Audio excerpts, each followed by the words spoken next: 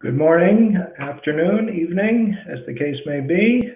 I'm Bill Lytton from SUNY Downstate, that's State University of New York in Brooklyn, and Kings County Hospital.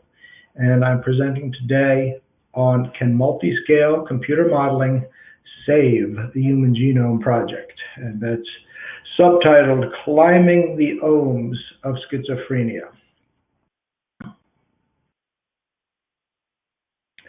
So the Human Genome Project perhaps is not really needs saving, but it in some sense did not live up to the hyperbole assigned to it. So the hope was you map the genome, you understand disease, and you cure disease. And this hope probably came from the known monogenic diseases such as sickle cell or cystic fibrosis, where you have a single gene altering a single protein, altering the entire phenome and the pathophysiology of the person, causing disease. So it was hoped, and perhaps even assumed, that common diseases would also reflect clear genetics.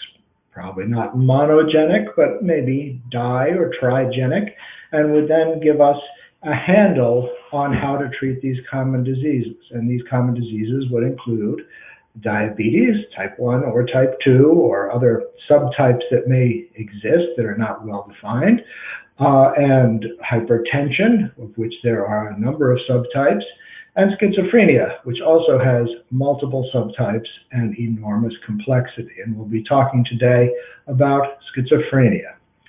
So, schizophrenia, like many of these diseases, has no clear inheritance pattern. It has a combination of genetic underpinnings and of aspects of the disease that clearly have responded to nurture and not nature in terms of the person's experience.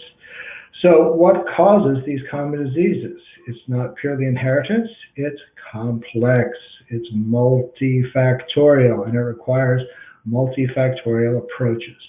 So, here on the bottom, just for entertainment value, we have the kind of genome that we need to look at, right? This is a uh, little snippet of a genome of something or someone, or what is it? Course, you cannot tell. It is a papaya, not even a person at all.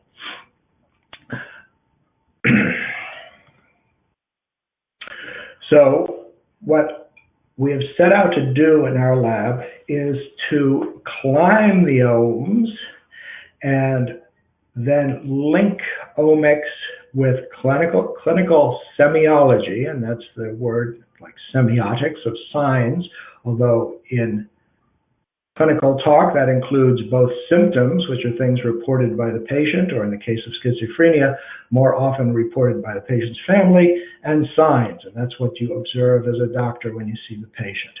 And we link all this with our multi-scale model, computer modeling, which uh, is abbreviated MSM and which has been uh, strongly supported by Grace Peng and by the Interagency Modeling and Analysis Group Multiscale Modeling Initiative uh, and a number of grant projects, some funded via BRAIN. Uh, so we want to understand how does the genome, which in this case is primarily the main chromosomal genome of the person, but in some cases uh, may include the microbiome, a tumorome, a virome, uh, the mitochondrial genome, etc. Uh, it influence disease across levels of semiotics, semiology.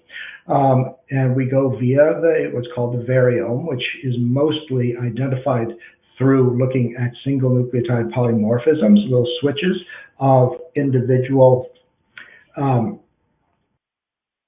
nucleotides, A, T, G, or C, which are markers in the genome and are not necessarily, and often are not, directly inside a gene of interest, but are near enough that they co-localize with the gene of interest. Uh, there's also epigenome. We need to understand probably something about the proteome and certainly what's called the phenome. And in neuroscience, we also need to consider the connectome. And we also in neuroscience, when I consider behavior, when I consider cognition, when I consider these uh, things which don't have own names yet, although no doubt they soon will. So the clinical semiology of schizophrenia is complex. Molecular level, known changes involve dopamine and glutamate neurotransmitters. There are dendritic changes, which include synaptic pruning. There are certainly changes during development, and in fact, the disease only manifests in typically late adolescence, early adulthood, and so the developmental anomalies are important. Uh, circuit anomalies, apoptosis, death of cells, which is natural because you do a lot of pruning in development, but here there's some pruning gone awry probably. Uh, areas of the brain the prefrontal cortex and hippocampus and the interlinks between them being particularly implicated, changes in the electroencephalogram, changes in gamma and theta, which uh, particularly gamma has been demonstrated clinically, and I say changes because sometimes it's up, sometimes it's down. We'll be focused on a case where in the animal model, which we have modeled, simulated, we see high gamma and low higher gamma and lower theta and then the remarkable and, and awful, frankly, thought disorder that patients have with this disease, which you would think would not be amenable to modeling, simulation. Uh, it is not directly amenable, but we have a trick for doing that and looking at that using Shannon information theory. So we use multi-scale modeling. And uh, the scales here shown on the x-axis of uh, time, which go from millisecond uh, or sub-millisecond of molecular for uh, deformation, such as the sodium channel change that leads to the spike or action potential, which takes a millisecond, up to years. If you talk about development, certainly not something we can currently simulate, except in a very uh, high level manner. Then here on the y-axis, we have space down to molecular, angstrom, nanometer level, and up to the entire brain systems, motor system, visual system, limbic system, all working together. Uh, and then above that, at a level that can be measured in time by things like reaction time, but cannot be assigned a spatial scale, cognition, behavior, information. So we want to link clinical semiology, multiple levels, the omes, multiple level from genome to phenome, and our multi-scale modeling, where in this case we're going to be focused on area CA3 of the hippocampus, and we're going to look at how interactions from the molecular level up to the circuit level change the way the circuit behaves in terms of dynamics and in terms of information flow. I also want to point out that the, what we've circled here, we have intersecting scales. So in some organ systems, you can say, okay, the cell does this, and now we'll simplify the cell and we'll embed it in a network of cells, such as the liver network of cells, which is very important in metabolism. Uh, but in the brain, I think the separation of scales is very difficult, in some cases impossible, because these cells are enormous and they go through multiple layers in the hippocampus. Layers include stratum oriens, stratum pyramidale, stratum radiatum. In the cortex, the layers are well known as layer one through layer six. But these cells are so big, they are sampling from different parts of the network. So the cells themselves behave uh, in ways that are determined by the network, and then of course the network is made up of cells, behaves in ways that are determined by the cells. So there's not a clean separation. So the story starts as fairy tales must with demonic possession. Uh, the film The Exorcist came out a number of years ago, and it depicts what is now thought to almost certainly be a case of NMDA receptor antibody disease. The film, of course, was highly fictionalized, but it was based on a true story. The child was a boy rather than a girl. The uh, key findings, which are depicted in the movie, are severe dystonia, twisting, not to the point of being able to turn your head all the way around, but almost, and um, psychosis, which is the point that interests us and where we have this intersection between schizophrenia and uh, this particular NMDA disease, as well as with ketamine, which is a drug that blocks NMDA and NMDA antagonists. The NMDA antibodies block um, the NMDA. Uh, the psychosis being very prominent in this disorder, and autonomic dysfunction, which was also seen in that child, has been documented in many cases since then. Also of importance clinically is that these kids, often kids, well, sometimes kids, sometimes pregnant women, women more than men, get better. So whether you have a priest or two priests or no priest at all, they generally get better. And so there is a, a happy ending to The Exorcist. So we are looking at a very simple, in this case, hippocampal CA3 cornu ammonis area 3 model and we've done modeling uh, over many years, over a decade now, working uh, first with Maciej Lazarewicz, who was uh, originally trained with Leif Finkel, who uh, unfortunately died, uh, Moten, and Mohammed Sherif. And so here from our paper is this simple model that we'll be presenting. The main feature here is the, uh, the pyramidal cells here on the right, and also uh, basket cells, inhibitory cells, pyramidal cells are excitatory cells, Oriens lacunosa moleculare cells, OLM cells, easier to say OLM, projecting to the dendrites of pyramidal cells, basket cells project to the soma, basket cells also project to themselves. This is a circuit of 1200 cells, so when I show it projecting itself, it's not projecting to it's not a single cell projecting itself, it's a population projecting to that population connections between the inhibitory cells, all driven with a theta input from the medial septum, although we demonstrated that that's not necessary for the action of this network. So the network works without any external input uh, once it's activated to, to sufficiently to, to, to go. Um, so we now are interested in what does this network do, and we find, as many have found both in this type of network and in cortical networks, that the classically defined EEG oscillations, such as theta, which in the human would be 4 to 8, uh, in the mouse it would be faster, uh, and gamma, which is low gamma and high gamma, but let's say around 40 hertz is kind of classic gamma. These emerge from the network based on the connectivity and based on the time constants and complex interactions of multiple ion channels in the individual cells. And uh, notice that these individual cells are not integrated fire cells. They have complexity bestowed on them by a number of potassium channels, calcium channels, the fast sodium, which allows for spiking, as well as, importantly, the anomalous rectifier, or IH, uh, which comes from the HCN gene. So here we see emergence. We're looking here on the x-axis at time. We have a raster plot on the bottom, which shows the spiking of individual cells, the pyramidal cells in red, basket cells in green, OLM cells in blue. We can generate a simulated LFP, local field potential, here at the top. We have the scale bar here.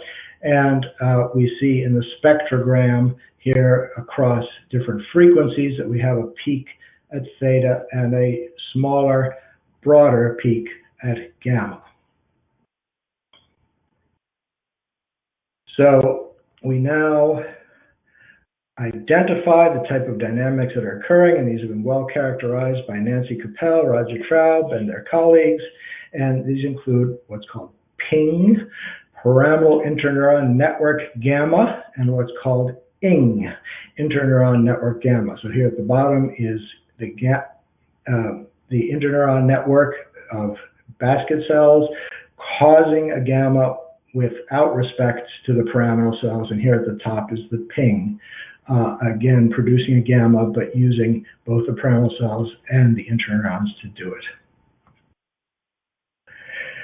We now jump back to schizophrenia, and we keep trying to involve our understanding of the omics, the clinical semiology, and the multi-scale modeling. And in this case, we're dealing with the genomics, and a very prominent, important paper published in Nature 2011 showed a number of SNPs, single nucleotide polymorphisms, identifying the variome of schizophrenia across many, many patients. That's one of the difficulties with this. The many, many patients undoubtedly include many subtypes of schizophrenia. In any case, the usual suspect came up, usual suspects, uh, the NMDA came up in the form of a single nucleotide polymorphism that is near to the GRIN2A specific type of NMDA receptor. Uh, also implicated was GABA A and HCN in looking at SNPs that were near uh, particular genes that are known have a known product. Of course, many of the SNPs are not near anything with a known product or maybe in non-coding regions. That's something we don't deal with. We clearly do not deal with 108 of them uh, that were identified. We're dealing with these three. Just looking at the NMDA, we can then use our results to make a prediction, and that is a prediction that the GRIN2A transcript would be reduced specifically in the Oriens lacunosum moleculare OLM cells. And so here we're looking at the effects of NMDA blockade in our simulation on either OML cells or basket cells or pyramidal cells. And we find is uniquely when you block the OLM cells, uh, here we see a raster plot on the right, raster at the top, LFP at the bottom, local field potential, different types of cells again, uh, pyramidal cells, basket cells, OML cells.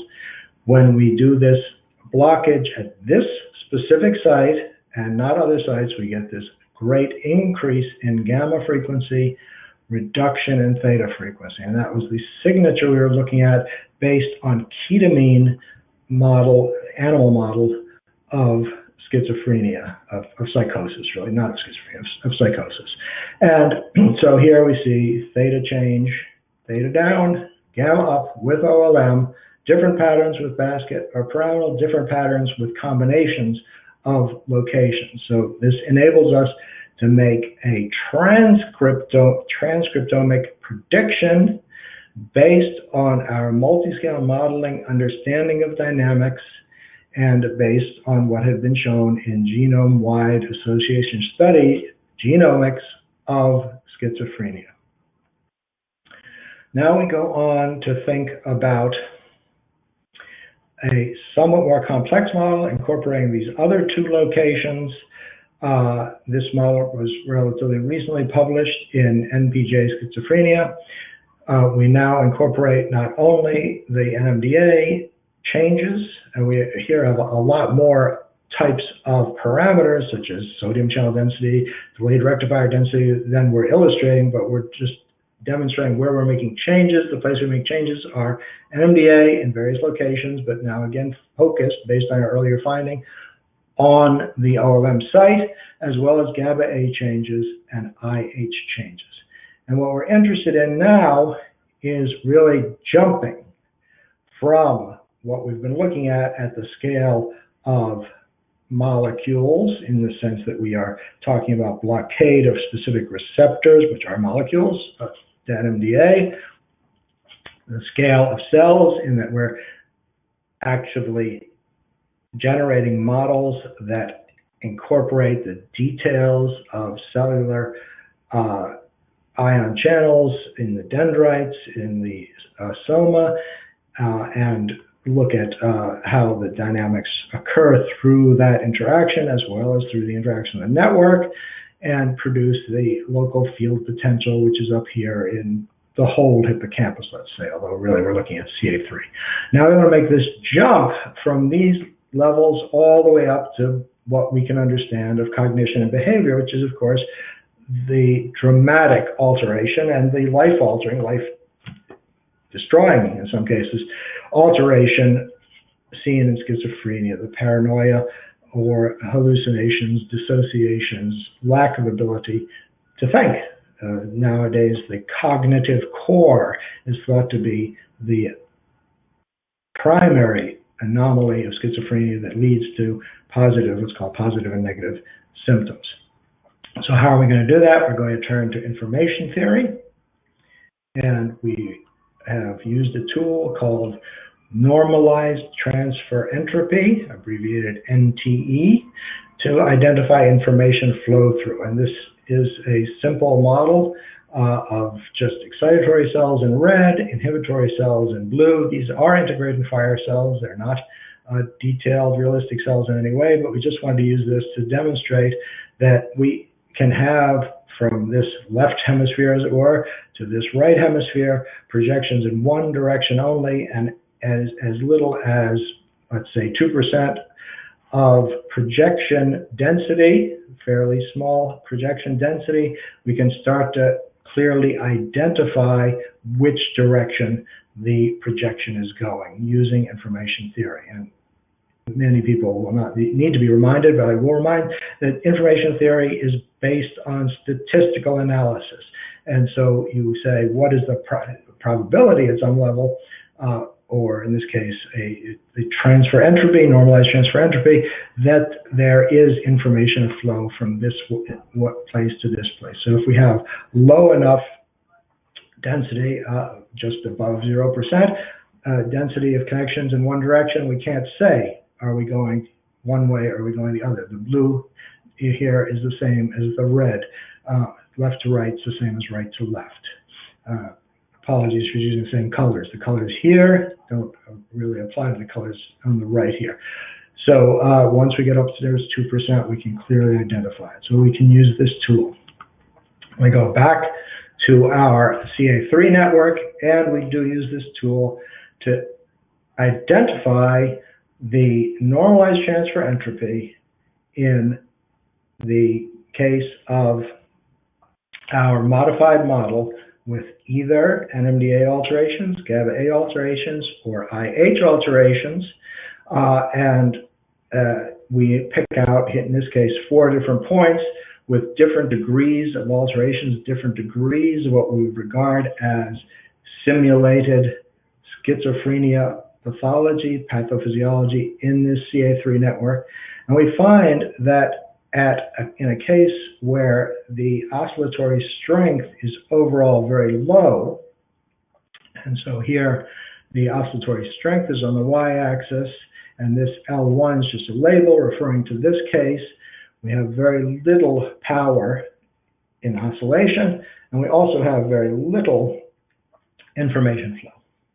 When we go to another extreme where we have a very high, very strict oscillatory control of the network, and the network here in the raster plot is primarily the, going to be the pyramidal cells. That's the largest population, 800 of the 1200 cells. We have very high power of oscillation, and again, very low information flow, here shown in red, comparable to what we saw there. It's only in the intermediate cases, shown here as H1 and H2, where with intermediate level of oscillatory strength, shown here in the black histogram bars, we have the higher amount of information flow from the input to the network to the output to the network. So we hypothesize that there are a set of controls through the different aspects of neural dynamics, both cellular, which would be the HCN or IH, is purely a cellular phenomenon, an ion channel, voltage sensitive ion channel, and synaptic, NMDA, and GABA A that are controlling these aspects together, the aspect of oscillatory strength and the aspect of information flow through. And this uh, point I want to emphasize, often we look at these neuronal networks and we look at actual recordings from classically Hubel and Wiesel from cats or from macaques nowadays or mice and rats, and we say the cell is firing a lot, therefore there's a lot of information there. And we would postulate, at least in the system, that that's not the case. So here, firing rate in the left panel on the x-axis, and tra normalized transfer entropy or information flow in the y-axis, uh, demonstrating that very fast firing cells do not transmit a lot of information. And in fact, when you have all the cells firing fast, you just can't distinguish much between them. Of course, this is there's a lot of discussion that, that could be added here, but uh, the general observation is too fast or too slow, no information or very little information flow. It's the sweet spot in between where you have the variability of firing, where you can get information flow through. And the this correlates very closely with the population synchrony here shown in the right panel. X-axis is population synchrony, y-axis again normalized transfer entropy, where the color coding shows that the same cells here and here. Also, again, this notion of a sweet spot where you have intermediate oscillatory strength, where you have a dramatic fall off when you have too much synchrony, and a fall off generally, although there's exceptions, uh, when you have too little synchrony.